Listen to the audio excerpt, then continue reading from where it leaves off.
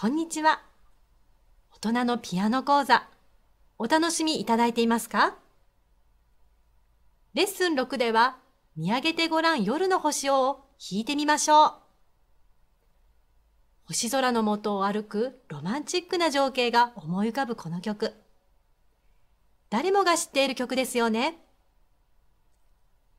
左手の伴奏はゆったりとした和音で、ピアノらしい美しい響きが楽しめるアレンジになっています。まずはどんな感じなのか弾いてみますね。